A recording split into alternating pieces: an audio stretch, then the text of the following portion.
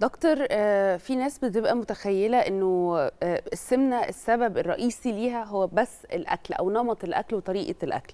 لكن بيبقى في أحيانا أسباب آه، آم، عضوية أو أسباب متعلقة بأمراض هي اللي بتسبب السمنة أو بتسبب مشاكل في الحرق أو ما إلى ذلك. لو حضرتك تقول لنا إزاي نقدر نتعامل ونعرف إذا كان السمنة ليها علاقة بالأكل أو ليها علاقة بأسباب تتطلب إنه الشخص يروح لطبيب يعرف إيه المشكلة اللي عنده. كويس. هما الاثنين زي ما حضرتك قلتي بالظبط. العلاقة بالأكل وعلاقة بأمراض عضوية.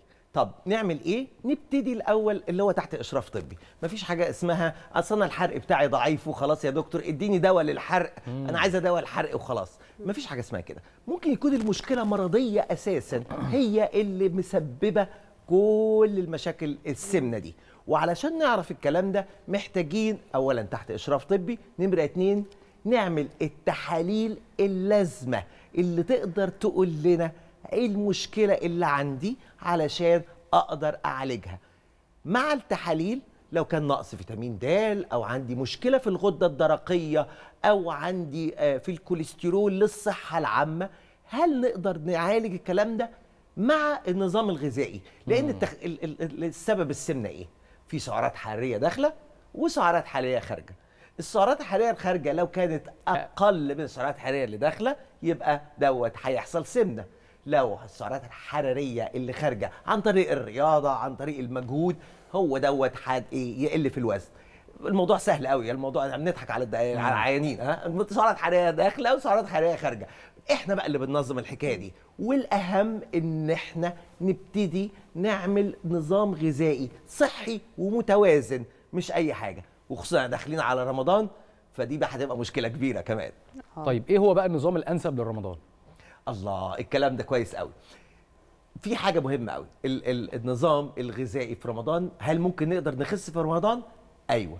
هل طب أنا عايز أثبت بس كفاية قوي ده ده لو طلعت في نفس الوزن يبقى حاجة جميلة. لا إحنا هن- ممكن نخس في رمضان ونبتدي إحنا فاضل أسبوع على رمضان نبتدي من دلوقتي لغاية شهر رمضان إن شاء الله.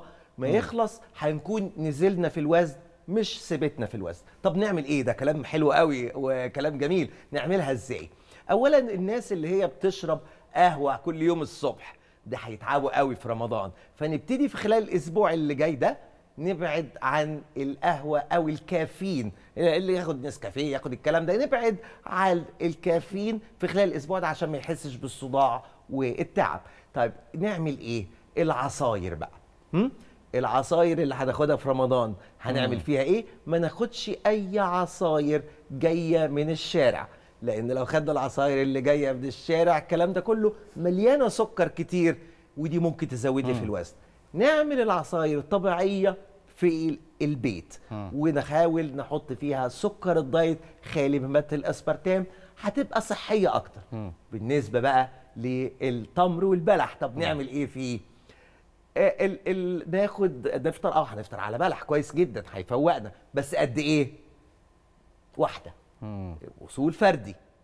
الناس يقول لي دي ثلاثة أو خمسة. واللي عنده سمنة بشكل عام يقلل من ال- الحاجات دي. جدا. وناخد واحدة بس هيبقى أحسن كتير. والأهم من كده إن إحنا نشرب المية على مدار ال- اليوم من أول الإفطار لغاية السحور. مش نشرب مية كتير قوي مرة واحدة أو نشرب مية على ساعة السحور بس. إحنا مش جمل هشرب مية كتير هتتحوش. لا إحنا هناخدها على مدار اليوم كل ساعتين نشرب مية.